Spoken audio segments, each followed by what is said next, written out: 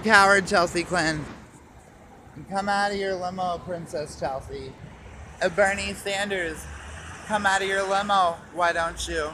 With, with the small business. You're living like a rock star, Bernie Sanders. And my, my shirt's made in China. So if my clothes are made in China, why are you politicians living like rock stars? Shouldn't you politicians be rewarded only when your country succeeds, kids?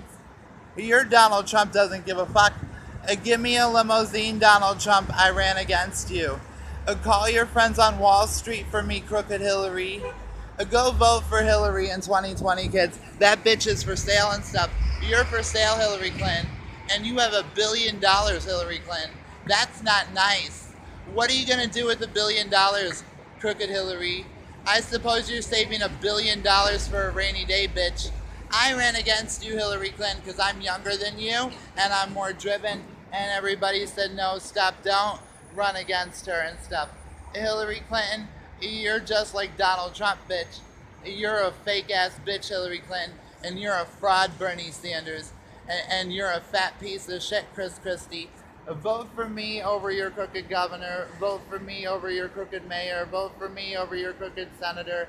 Vote for me over Scott Walker.